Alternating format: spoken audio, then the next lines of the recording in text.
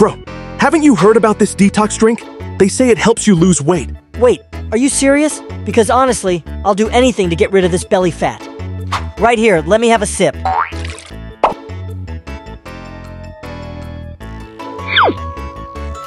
I guess that's all the sugar left.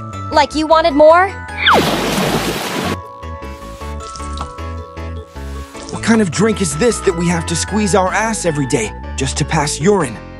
Doc, does this drink even work? I thought taking a fat detox drink and hitting the gym would speed up weight loss. But the only thing that sped up is how many times I run to the bathroom to pee. Most drinks and teas claiming to detox the liver or burn fat are false.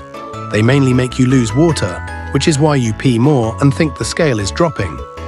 The liver already detoxes your body on its own. The only thing that truly speeds up weight loss is consistent exercise and proper eating, which you're already doing right now, so just stick with the gym.